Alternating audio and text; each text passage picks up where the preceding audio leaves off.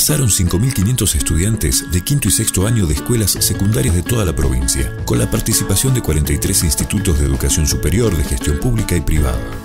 Esta muerte de oferta educativa permite a los estudiantes del nivel secundario que están por egresar eh, determinar la inserción que ellos puedan tener en el nivel superior o en el nivel universitario. Nos sirve a todos para decidir qué carrera y qué camino tomar. Nosotros no somos el futuro, sino somos el presente en busca de un mejor futuro. Yo, vos, nosotros, todos podemos alcanzar nuestros sueños. Lo hacemos entre todos. Gobierno de Jujuy.